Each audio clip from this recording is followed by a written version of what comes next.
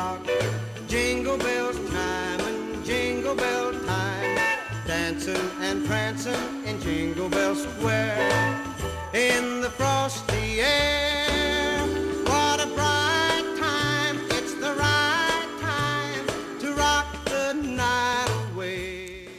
11.06 de la mañana. ¿Cómo están mis queridas amigas, amigos? Qué gusto saludarlos. Bueno, estamos ya calentando las cazuelas, el motor, para que todo lo que vayamos a preparar en Navidad y que seguramente ya tienes adelantado muchas de las cosas de Navidad, bueno, pues no te agarren las prisas. Pero, ¿y qué tal? que a la hora de la hora no me hiciste caso con lo que te he venido comentando y que te falta la botella de vino blanco para el pavo fácil de Laura. Que me falta una lechuga porque no me di cuenta que tenía que poner las ensaladas de gris con lechuguita alrededor. Ay, caray, que no tengo queso crema. ¿Qué voy a hacer? Estas compras de pánico nos quitan mucho tiempo porque las tiendas, los supermercados están abarrotados de personas. Hasta para encontrar estacionamiento perdemos mucho tiempo. Entonces, a veces preferimos comprar en la tiendita más cercana, en las tiendas de conveniencia, en las cadenas de tiendas, estas XX, o en las tiendas de la esquina, que sí es un poquitito más caro, pero nos ahorra el tiempo, la gasolina y por supuesto rápidamente pues vamos a nuestra casa y hacemos o preparamos lo que tenemos planeado. Piénsalo, ponlo en una balanza y tú ya decides, bueno, si lo haces así o si te avientas a la aventura de ir al supermercado, pelearte con 50 gentes que están adelante de ti en la cola y que a veces también los mismos empleados fallan mucho en estas épocas y en vez de tener todas las cajas funcionando, resulta que llegas y hay cinco cajas y como 50 mil personas haciendo cola calma, paciencia, tranquilidad, todo va a fluir. En lo que tú estás haciendo cola, ve haciendo tu mapa mental, tuc, tuc, tuc, ¿qué voy a hacer primero? Bueno, ya estoy retrasada, pero no cunda el pánico, vamos a ver qué es lo que puedo hacer. Pues si tienes ayuda en casa, y que todo mundo trae celular o lo que sea, ¿sabes qué? Veme sacando este mantel, velo planchando, ve haciendo esto. Es muy importante que un día antes, al menos funciona muy bien y les doy ese tip, tengamos la mesa lista. Un molletón, el molletón es esta como felpa que ponemos en la mesa del comedor, sea de cristal, de madera, del material que sea, para que cuando la vistamos con el mantel, las copas, los vasos, los platos no se sientan así como ¡pum! y que el golpe sea fuerte y se raspe tu mesa, se maltrate o hasta se pueda romper. Y que también si se cae una copa de vino o lo que sea, bueno, pues que no manche tu mesa o tu madera no se, no se lastime. Esto es importante tenerlo. Pero bueno, si no lo tienes, un plástico o hasta periódico, pero no le digas a nadie. Ahora sí que me hice como Paulina Bascal. Solamente a mis amigos más cercanos se los digo. Bueno, pones una capa de algo que proteja tu mesa, vistes tu mesa con tu mantel bien planchado y ya vas a poner los lugares. No te preocupes, mañana con un mañana con un secador limpio, le das una pasadita así nada más, tucu, tucu, tucu, y que tanto polvo puede haber, simplemente y ya. Pero tus cubiertos listos, tenedor, cuchillo, cucharas, cuchillo, el cuchillo, el tenedor para el plato fuerte, el tenedor para la ensalada, lo que vayas a servir, bueno, los cubiertos listos, ya sea que los quieras poner con la servilleta, y eso sí, las copas y los vasos, resérvalos, pero ya tenlos lavados, secos, listos, para que solamente los montes.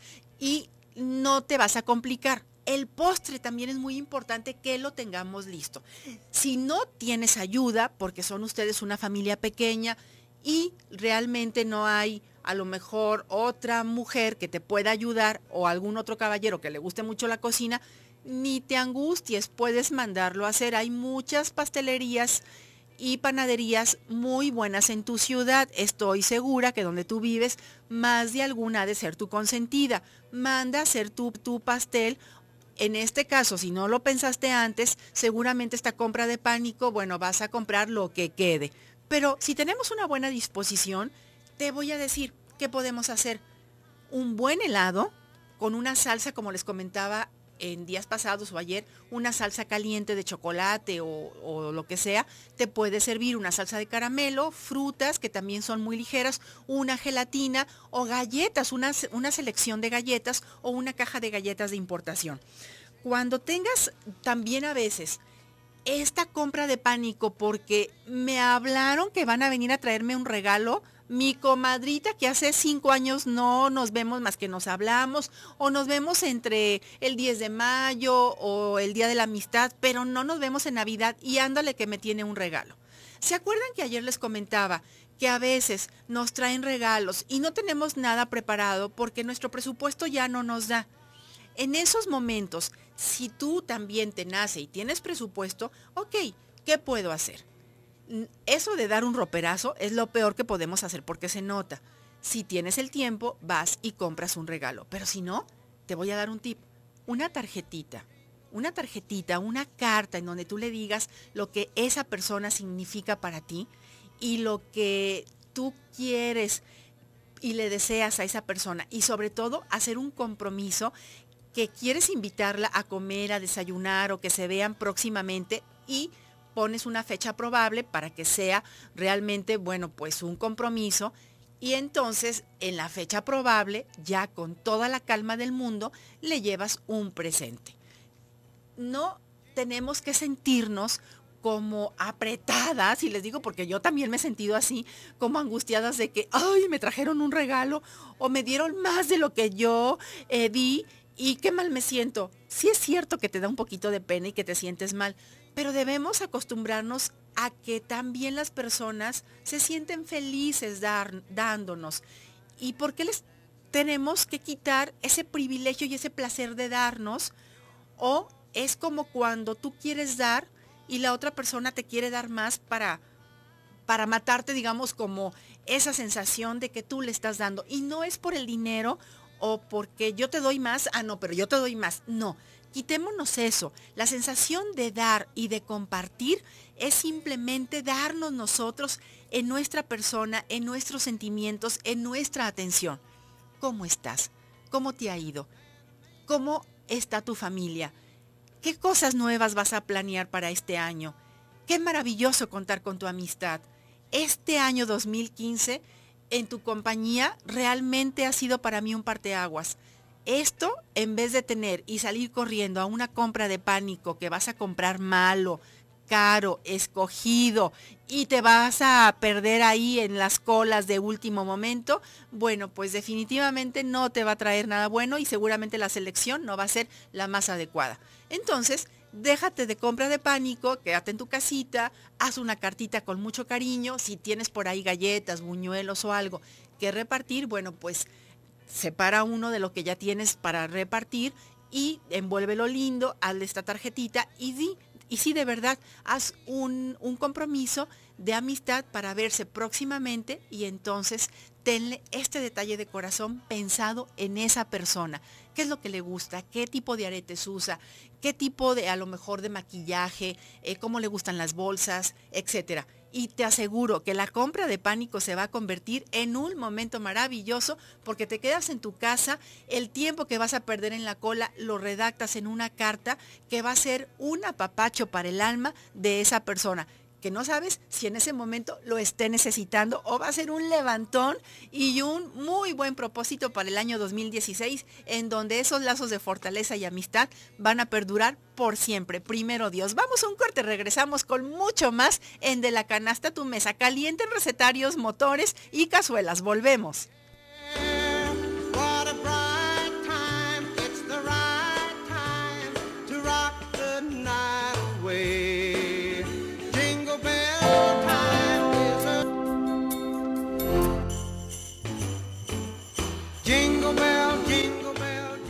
11.20, estamos de regreso. Muchísimas gracias por quedarse con nosotros. Comuníquense 31 22 11 90 36 47 18 83. Hoy atendiendo las llamadas y dudas de ustedes.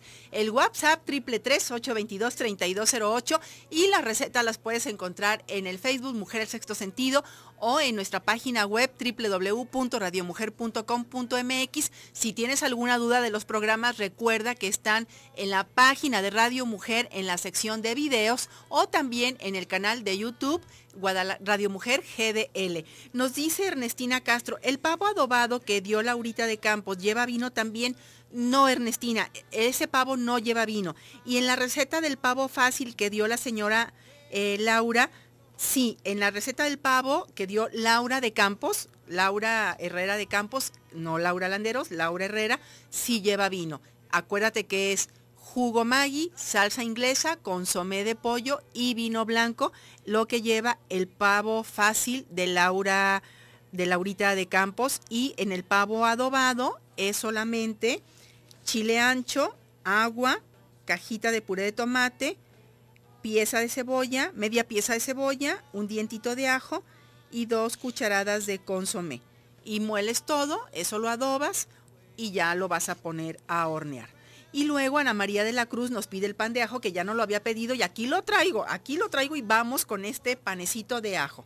Bueno, son unos bollitos que te va a quedar muy rico, pero si lo quieres hacer en forma de alargada como tipo pan, eh, campesino, etcétera, lo puedes hacer. Vamos a necesitar un kilo de harina, harina todo uso, o para que desarrolle más, lo puedes hacer con harina inmaculada, por ejemplo, que tiene más, más, más proteína. Vamos a necesitar 10 gramos de sal molida, 20 gramos de azúcar, 750 mililitros de agua, una cucharadita de polvo de ajo molido, no de sal de ajo porque ya tenemos sal. Es polvo de ajo molido o ajo en polvo. 20 gramos de levadura fresca. 200 gramos de margarina o de mantequilla. 300 gramos de queso crema. Y una cucharada o cucharadita, depende lo fuerte que tú lo prefieras, de dientitos de ajo sin el embrión, sin el corazoncito, esta partecita verde o a veces un poquito amarillenta que hace que lo repitamos o que tengamos en el paladar demasiado, muy perfumado a ajo, que no nos agrada tanto. Entonces la retiramos y vamos a picarlo en brunoise, o sea, finititito. Pero luego del brunoise pasa a un picado emincé. Emincé quiere decir que lo vamos a hacer como si fuera un purecito de ajo. Si tenemos este triturador de ajo, entonces perfecto, ponemos los ajos y los trituramos y que nos quede una pastita. En este caso, el queso crema lo vamos a revolver con el ajo para tener el sabor del ajo en la masa y dentro y morder y tener este saborcito de ajo muy agradable. Una cucharadita de ajo triturado, tampoco copeteada, una cucharadita y nos queda muy rico. Ok. Lo que vamos a hacer entonces es repetir los ingredientes. Un kilo de harina, 10 gramos de sal molida, 20 gramos de azúcar, una cucharada, una cucharada, una cucharadita, perdón, de ajo en polvo, 750 mililitros de agua, 20 gramos de levadura fresca. Si lo quieres hacer con levadura instantánea o levadura seca, vamos a utilizar 10 gramos o lo que es un sobrecito, 200 gramos perdón, de margarina o de mantequilla, 300 gramos de queso crema y al queso crema le vamos a revolver una cucharadita de purecito de ajo y si tienes, por ejemplo, estos ajos que metemos al horno y que quedan caramelizados, ¡uh! Más rico, porque el sabor no es tan potente, pero es un sabor dulce, delicioso, ahumadito, que te queda buenísimo. Y obviamente le pones un tantito de sal y pimienta para que tenga mucho sabor el relleno. ¿Qué es lo que vamos a hacer? En una fuente en la mesa o en tu batidora de pedestal con la pala, vamos a poner azúcar, sal, levadura, ajo en polvo, agua y vamos a disolver todo esto.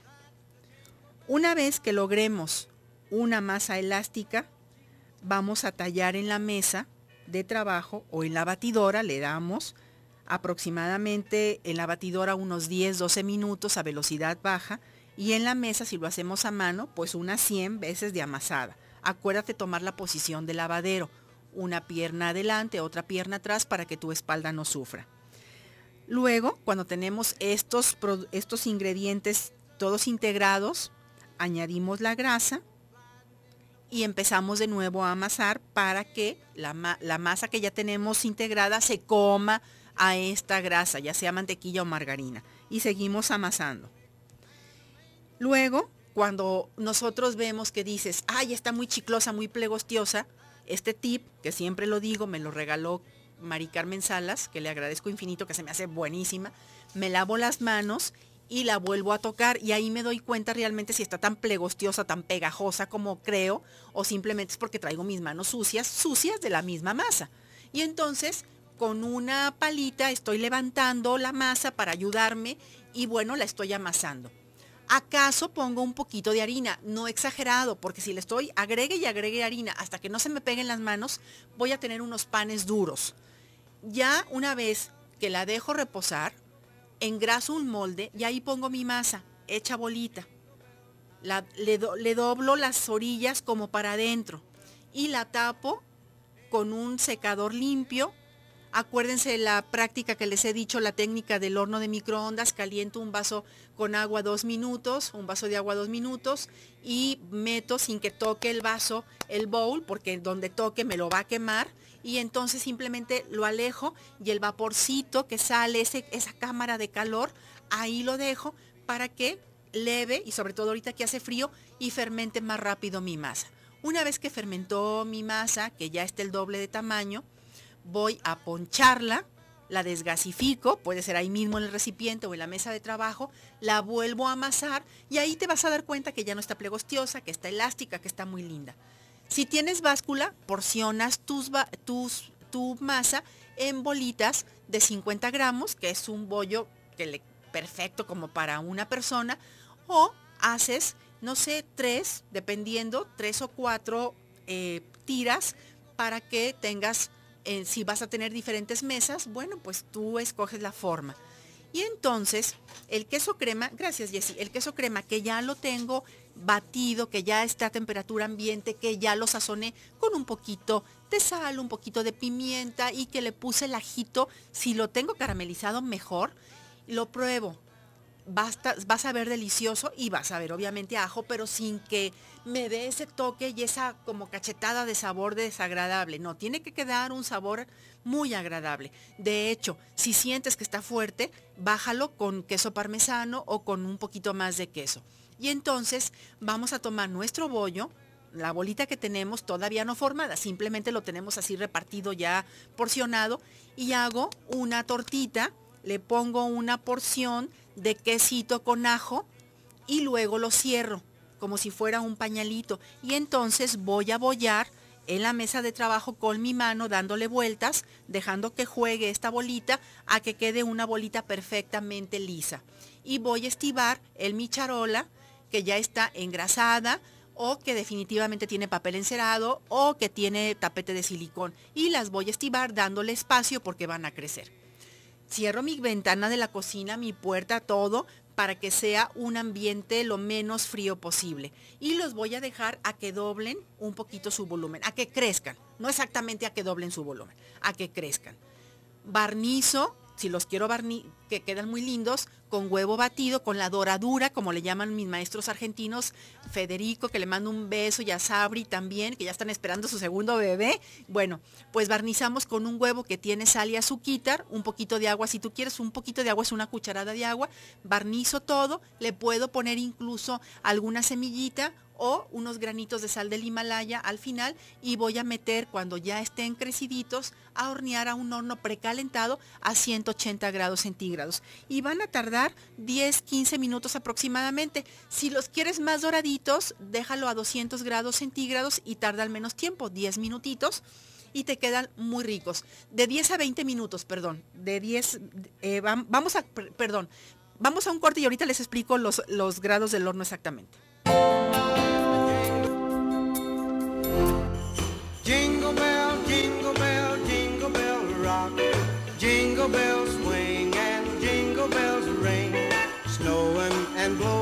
Up bushels of fun.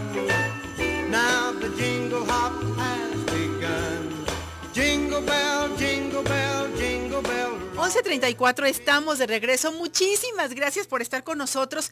Queremos recordarles que el 24 de diciembre, mañana, solamente por la mañana, de 12 a 1 se entregarán los regalitos previa copia de su identificación. El día 25 de diciembre no se trabaja y volvemos el 26 de diciembre. Entonces mañana jueves 24 de diciembre solamente en el turno de mediodía, de 12 a 1, por favor, con previa copia de su identificación. No lo dejen para el final. Si ustedes eh, van a necesitar algo de lo que aquí han ganado, vengan ya sea hoy en la tarde de 5 a 6 ahorita de 12 a 1 o definitivamente mañana de 12 a 1 nada más. Por la tarde mañana no, el 25 tampoco y regresaríamos pues obviamente creo que hasta el lunes porque luego el 25 es viernes. Muchísimas, muchísimas gracias. Hay muchas eh, preguntas en WhatsApp, he estado tratando de contestarles en los cortes comerciales para que no se quede ninguna sin contestar, pero también, bueno, vamos con el pan de ajo. Les decía, eh, aquí me hice un poco de bolas, lo confieso humildemente, con el horneado. Voy a rectificar. Ya que tenemos nuestros bollitos porcionados que los rellenamos con esta mezcla de queso o de quesos, porque también puede ser queso parmesano, puede ser un queso que tengas manchego con queso crema, porque el queso crema no se funde, se queda y con este sabor a ajo, porque va a ser muy agradable sentir el ajo, que yo les recomiendo que no lo pongan crudo. Si pueden, el ajo con todo y piel, déjenlo en un comalito para que se, así se queme, se dore muy bien el, la piel y nos quede más dulce o mucho mejor cuando ustedes estén prendiendo el horno para cualquier cosa, pongan sus ajos con aceite, a la cabeza de ajos le cortan un tercio, lo bañan de aceite de oliva y lo cubren con papel aluminio y los ponen en una charolita en el horno. Cuando se caramelicen, ustedes nada más aprietan la cabeza de ajo y sale la carnita. Luego ya nada más así como que la presionan contra la tablita de picar con el cuchillo, la cara del cuchillo y les queda una mermeladita de ajo deliciosa toman una cucharadita o menos, depende lo que, lo que lo quieran de sabor, y lo van a revolver. Y entonces nuestra harina, nuestra masa, tiene un toque de ajo, no demasiado fuerte, porque lo que tenemos también es en el relleno esta potencia de ajo con un sabor ahumado, con un sabor caramelizado. Entonces vamos a tomar nuestra masa, nuestro bollito, lo aplanamos, tomamos este bodoquito de relleno, lo cerramos y boleamos. Vamos a estivar en nuestra charola o acomodar en nuestras charolas dándoles espacio dejamos que crezcan un poquito, ya tenemos después de unos 15, 20 minutos precalentamos nuestro horno, a 200 grados centígrados, eh, ahí es donde me equivoqué, a 200 grados centígrados, vamos a meter los 10 minutos ya barnizados y si queremos ponerle semillitas o lo que ustedes quieran, ya los barnizamos, los metemos al horno y en estos 10 minutos obviamente terminan de desarrollarse, de crecer y luego bajamos a 180 grados centígrados y los dejamos otros 20 minutos más. Estos bollitos son deliciosos a la hora de que el comensal está cenando y parte su bollito, se encuentra con la sorpresa y todo el aroma delicioso de verdad. Si tú a este queso crema con ajo le quieres añadir romero picado, albahaca, perejil, va a quedar más bueno. De verdad te lo digo. Y si estás acompañando, por ejemplo, de un mojito que tiene hierbabuena, pues te, ayuda porque limpias tu paladar. Entonces, bueno, pues tú mandas en tu cocina y tú eres la que estás planeando tu menú de año nuevo. Así es que yo quería cumplir y créeme que no se me había olvidado, pero a veces no me dejan sus teléfonos y es difícil. Y cuando me dejan sus teléfonos, por ejemplo, si me lo dejan hoy, pues también para mí es una corretiza porque tengo que hacer la cena para para casa y para familia, entonces pues sí, también me complico. Raquel Mendoza, receta de pastel de carne. Bueno, hay una receta que nos dio Lupita de Méndez hace muchísimo, que a mí me encanta compartirles, que es carne fiesta. Y este pastel de carne fiesta, y de hecho lo voy a buscar a ver si me aparece rápidamente aquí, eh, necesitamos un kilo de carne molida de res o puedes hacerlo mitad de res y mitad de cerdo. Una vez que tenemos nuestra carne molida, le vamos a poner una eh, taza de leche evaporada. así, de la leche evaporada que compramos, una taza de jugo de piña, 100 gramos de pasas, 100 gramos de almendras fileteadas y vamos a ponerle una cucharada de salsa inglesa, un poquito de sal y pimienta. En lo personal me gusta también ponerle uno de estos, mm, pues como embutidos, que es jamón endiablado. Le pongo, si encuentras una latita o encuentras estos de suancitos, bueno, pues le pones un toquecito de este jamón endiablado y lo vamos a revolver. Te va a quedar una mezcla muy acuosa. Pero recuerden que los pasteles de carne en el horno se resecan mucho.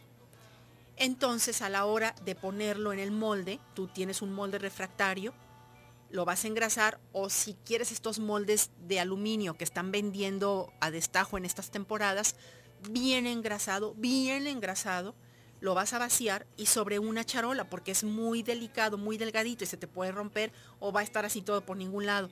Entonces ponemos la charola, ponemos el molde o si no, en un refractario bien engrasado y vamos a vaciar nuestro, nuestra carne ya bien mezclada. Lo vamos a adornar con tiritas de pimiento, con aceitunas o con chile jalapeño, con lo que tengas a la mano. Precalentamos nuestro horno a 200 grados centígrados y vamos a meterlo a hornear, así destapado. De preferencia, sí te aconsejo que pongas una charola más amplia abajo, porque tiene tanto juguito que sí, el juguito sube, va a hervir un poquito y te puede ensuciar tu horno. Vamos a dejarlo a, 180, a 200 grados, también lo puedes calentar a 200 grados, lo dejamos 20 minutos y los últimos 40 minutos a 180, 175 grados hasta que esté bien doradito. Lo importante de que tenga tanto líquido es que con esta hora de cocción se evapora el líquido, pero nos queda lo suficiente para darle sabor, color, dulzura, porque las cosas, por lo regular, la comida de año, de Navidad y Año Nuevo son ligeramente más dulces y lo acompañamos excelente con una ensalada de papas o con una ensalada de manzana o con una ensalada de lechugas con aguacates, cítricos como gajos de mandarina, de eh, toronja, de naranja y algún aderezo, por ejemplo, balsámico le quedaría también muy bien, o un aderezo de vinagre de vino tinto, lo que tú tengas por ahí a la mano, o simplemente mil islas, lo que tú tengas. Y entonces, bueno, pues ya lo vamos a sacar lo dejamos reposar para que estos jugos que quedan en la superficie vuelvan al centro de nuestra pastel de carne y a la hora de partir está jugoso, no está seco y nos queda delicioso. Si vemos durante la cocción que se está dorando de más, ya tenemos listo unos trozos de papel aluminio para cubrirlo como si fuera una sábana. No te vas a quemar porque no lo vamos a sacar y vamos a apretar. Simplemente lo pones por encimita con mucho cuidado para que el calor no me queme la cara del horno. Y en determinado momento, si estamos utilizando jugo de piña, no almíbar de piña, hago la aclaración, es muy diferente, pero si tienes una lata de piña en almíbar, puedes tomar unos trocitos de piña en almíbar e incluírselos en la carne.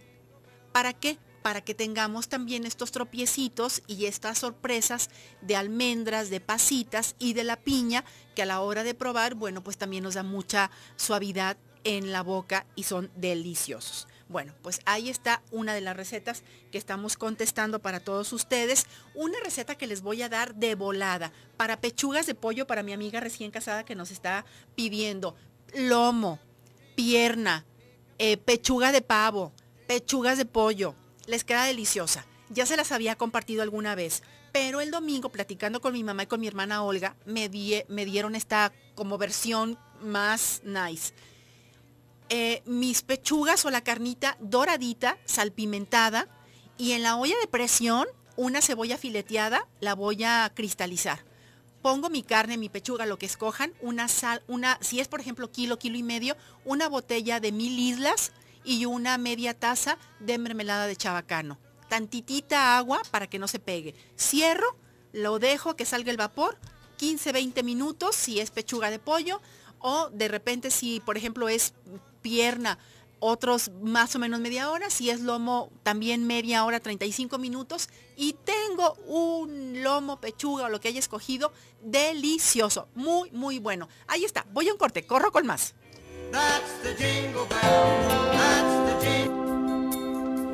Definitivamente, ay Dios mío, creo que no voy a alcanzar a contestar. Arcelia Aguayo, Arcelia, puedes llamar en este momento a cabina porque tiene Jessie una receta de lechón para que te la pase, ¿sí? ¿Me puedes hacer ese favor, Arcelia?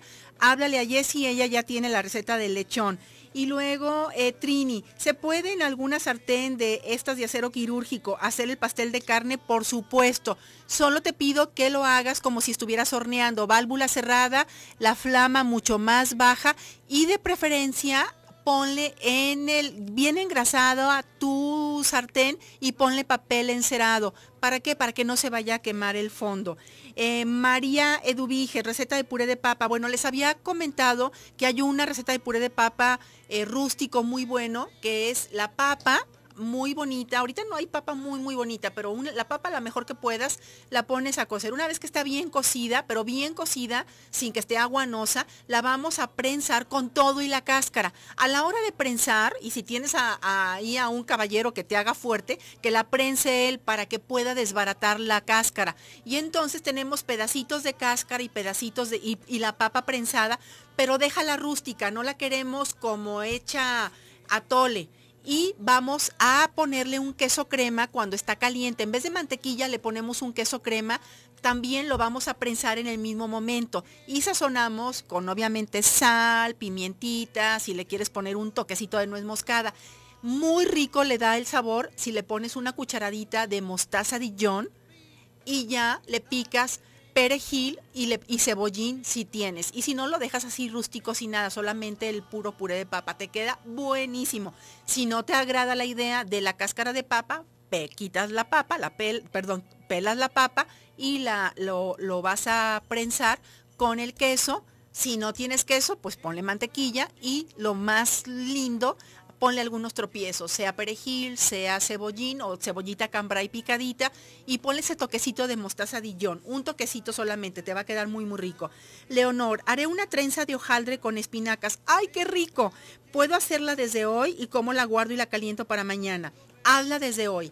La pones, eh, nada más simplemente cúbrela con papel aluminio o con un plástico para que no se no le pase nada y como la vas a hacer, me supongo en la tardecita, ya para mañana simplemente le das un golpe de horno. Y pero te, diría que no necesitas ni siquiera calentarla, ¿eh? se puede comer a temperatura ambiente, pero si la quieres caliente, en los últimos 15 minutos de que estás calentando tu pavo, lo que sea, o la pierna o lo que vayas a hacer, la vas a poner en el horno y nada más para que esté calientita y la sacas. Es nada más darle un golpe de calor sin nada, sin destapada para que no se, no se cueza, pues. Eh, Laura, no, no se haga aguada, a eso me refiero. Laura García, ¿cuánta fruta se le pone al ponche si son 20 litros de agua? Bueno, si ustedes se acuerdan, aproximadamente necesitamos para 5 litros de agua eh, unos 2 kilos de fruta. Entonces, si vas a utilizar 20 litros, vamos a utilizar mm, unos como unos 8, 2, 4, 6, 8, de 8 a 9 kilos de fruta, entre caña, manzana, guayaba, tejocote, ciruela, pasitas, lo que le vayas a poner. ¿Para qué? Porque son, es mucha fruta, pero si lo quieres más, más prudente el ponche, porque la gente no se come la fruta, ponle entonces la fruta que le da mucho sabor la caña, que es, le da dulzor y entretiene a la gente, la manzana que está muy presente, el tejocote que no puede faltar en las fiestas navideñas y la guayaba que le imprime carácter al ponche. Las pasitas a veces la gente las desperdicia, pero si a tu familia le gustan, ponle pasitas. Y entonces yo te diría que si tu, tu líquido, el ponche, lo que es el ponche nada más, tiene mucho sabor, entonces ponle menos fruta. Te puedes ir a 5 kilos de fruta perfectamente. Nos pide Celia Hernández una receta de rompope. Acuérdense que el rompope es leche endulzada con azúcar y saborizada y espesada con yemas de huevo. Entonces nosotros podemos poner a hervir leche con una muy buena raja de canela, ya que tenemos la canela eh, y la leche hirviendo, con el azúcar, en este caso para un litro de leche una taza de azúcar que nos quede agradable de dulzor, vamos a menear y menear para que la canela entre y salga de la leche y tenemos ocho yemas de huevo, las vamos a batir, vamos también a temperar una vez que está a punto de ebullición y vamos a temperar estas yemas.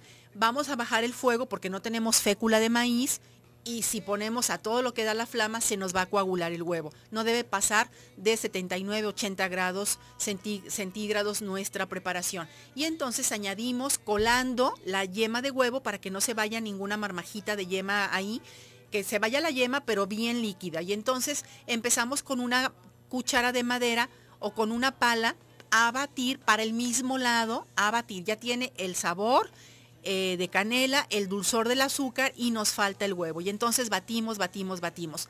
Como lo quieres de nuez, lo que vamos a hacer es, vamos con tantita leche a licuar 150 gramos de nuez, ya que lo tengamos listo, con todo y las yemas y todo, y vamos a regresarlo a nuestra olla. Acabamos cuando veamos que napa la cuchara, que nosotros hacemos esto en nuestra, en nuestra palita o cuchara de madera y se queda dibujada la línea que pusimos que levantamos o formamos con el dedo y no se unen. En el momento en que toma punto nap ligero, apagamos, dejamos enfriar y ponemos el alcohol al gusto, el alcohol que ustedes quieran. Y está listo nuestra botella ya bien esterilizada para vaciar nuestro rompope volvemos a poner en una olla grandototota con agua que está hirviendo para que se selle, haga vacío y lo podamos regalar sin que haya ningún peligro de que les vaya a hacer daño. Yo les pido a todas nuestras amigas y amigos que me están escribiendo por, la, por nuestro WhatsApp que si tienen internet entren por favor a la página de Radio Mujer o a la página de su servidora. Ahí tengo recetas. Si no crema de brócoli, tengo receta de crema de espinacas que pues nada más cambiamos la espinaca por brócoli como me pide este, nuestra amiga. Yo les agradezco muchísimo. Eh, no alcanzo a contestar todas, me quedan escasos cuatro minutos. Me pide también Victoria Michelle, receta de miel para buñuelos. Bueno, acuérdense que la miel para buñuelos ustedes pueden poner un litro de agua. Por ejemplo, si la quieren muy concentrada, medio kilo, si la quieren muy dulce, de piloncillo, pero pónganle sabor. ¿Cómo? Con canela, con un, por ejemplo, anís estrella, una rajadita, una rajadita de naranja y la dejan hervir. En el momento en que hierve retiramos la cáscara de naranja para que no se amargue y pueden añadirle clavo, naranja, canela, anís para que tenga como mucho sabor. Luego la cuelan y ya tenemos una miel espesita, la van a dejar hasta que llegue al punto que a ti se te haga agradable, la cuelan y tienen una miel espesa. Eh, luego te digo cómo curar. Eh, ya está esta. Receta de picadillo para rellenar el pavo. María, para hacer un picadillo igual, vamos a utilizar carne de cerdo para, para, preparar el pavo molida o lomo picadito o filetito de cerdo picado que vamos obviamente a freír con cebollita o chalot si lo quieres muy elegante, apio que le dé mucho sabor también.